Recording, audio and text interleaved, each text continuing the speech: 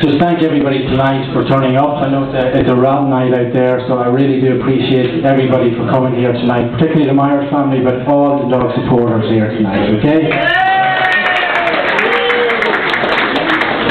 I would also like to thank their dedication. I know we have a group to our right here who have been very boisterous and, and, and provided great atmosphere all season. From the Finn Harps game, even all the way down to when we went down to Cobh, they were still singing and there was a lot, a lot of time, commitment, dedication and passion from all the supporters, both travelling and here. So thanks very much from all the club, all the supporters who, who, who've been with us all season, okay?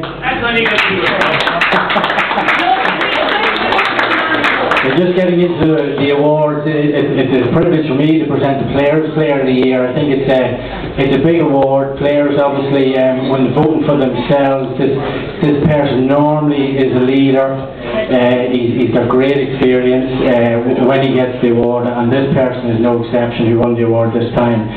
And it's also great, his family have a great tradition with the club, and um, the Players Player of the Year is David. Hallelujah!